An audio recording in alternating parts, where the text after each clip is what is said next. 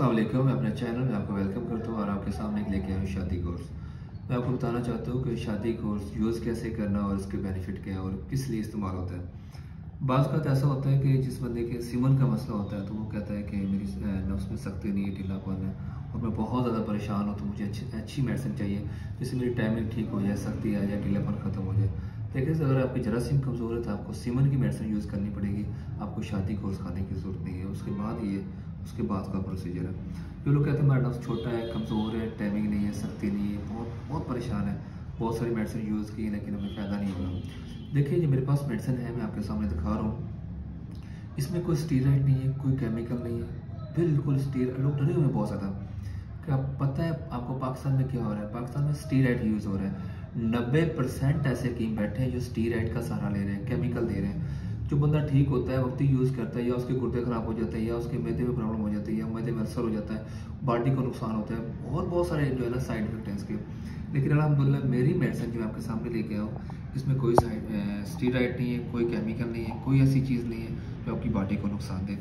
ये हमने बनाया है गोल्डन मैक्स पावर ये सूफ है और ये मैं आपके सामने लेके आऊँ ये कैसोनिल ये जब तक आपका मेदे का निज़ाम ठीक नहीं होगा तो ये जान की प्रोडक्ट यूज़ करने आपको फ़ायदा नहीं होगा। और ये है मजूल नूर।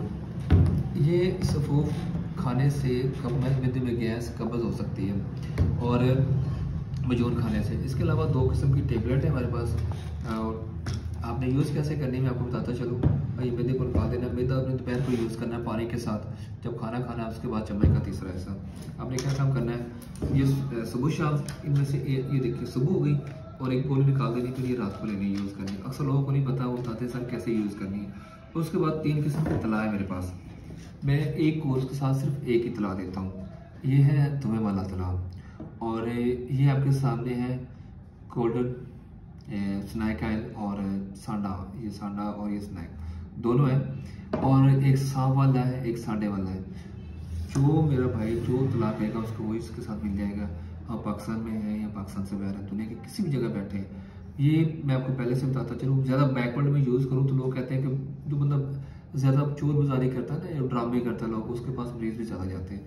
लेकिन मैं आपको बताता चलूँ कि हमारी मेडिसिन में कोई स्टीराइड नहीं है अलहमदिल्ला और मेरी वीडियो अच्छी लगती है तो लाइक शेयर कमेंट ज़रूर करते करें। अल्लाह हाफिज़।